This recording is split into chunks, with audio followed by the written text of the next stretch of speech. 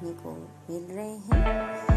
आपको इस वीडियो में क्रोशे से